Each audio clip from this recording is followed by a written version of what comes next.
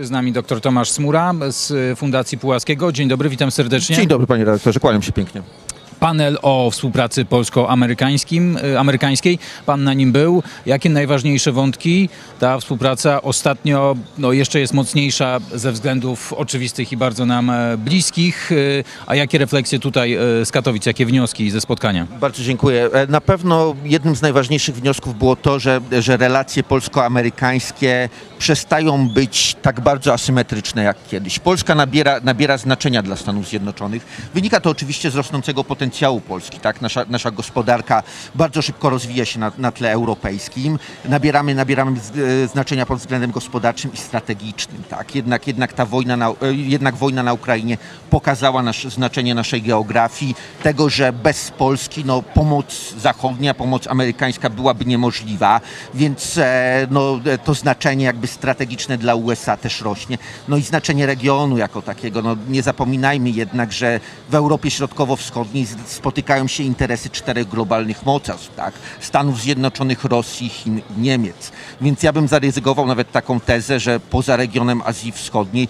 w tym momencie Europa Środkowo, Środkowo-Wschodnia geopolitycznie jest prawdopodobnie drugim najważniejszym miejscem na świecie, więc stąd też, też to rosnące zainteresowanie USA, rosnąca obecność USA i e, no też, też ta obecność wojskowa. Polska też, też e, pod tym względem e, szybko rozwija swoje siły zbrojne, staje się dla USA coraz ważniejszym pa- partnerem w NATO w kwestiach zapewnienia bezpieczeństwa europejskiego, więc e, tak, jak, tak jak mówiliśmy, że, że, że ta asymetria w tych, w tych relacjach zaczyna się zmniejszać. Stajemy się coraz bardziej partnerami.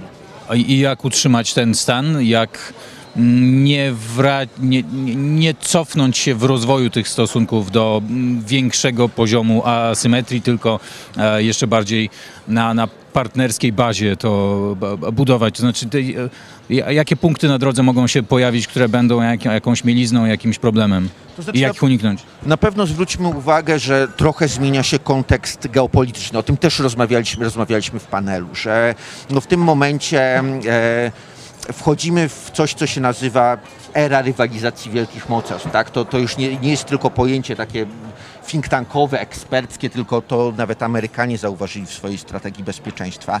Więc e, no, rośnie ta rywalizacja przede wszystkim chińsko-amerykańska i tutaj e, pojawia się ten kontekst, e, kontekst bardziej globalny.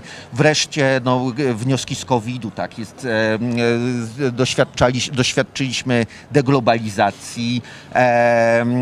Państwa zaczęły zwracać uwagę na swoje łańcuchy dostaw, na, to, na to, gdzie są zlokalizowane, no, e, gdzie jest zlokalizowany przemysł, tak, który dostarcza pewne podzespoły dla własnej gospodarki. I to jest pewna szansa na, na pogłębienie relacji, relacji polsko-amerykańskich, ponieważ no, tutaj właśnie to też jeden z wniosków panelu, te łańcuchy dostaw będą, będą się przenosić, tak, bliżej, e, bliżej jakby no, tej sfery transatlantyckiej i Polska może tutaj wykorzysta, wykorzystać rzeczywiście ten trend i, te, i, i, gdzieś tam te, te relacje gospodarcze ze Stanami Zjednoczonymi, Zjednoczonymi pogłębić. Natomiast oczywiście, no, tak, jak, tak jak gdzieś tam wskazywaliśmy, no też jest ten kontekst, e, kontekst e, geopolityczny, tak, no, ta rywalizacja amerykańsko-chińska wchodzi na coraz nowe obszary. Ona wcześniej dotyczyła głównie spraw twardego bezpieczeństwa, później roz, rozszerzyła się trochę gdzieś tam na kwestie, kwestie infrastrukturalne, na e, obecność Chin na globalnym, na globalnym południu. No teraz wchodzi w zupełnie nowe obszary, tak, no wszyscy śledziliśmy kwestie technologiczne,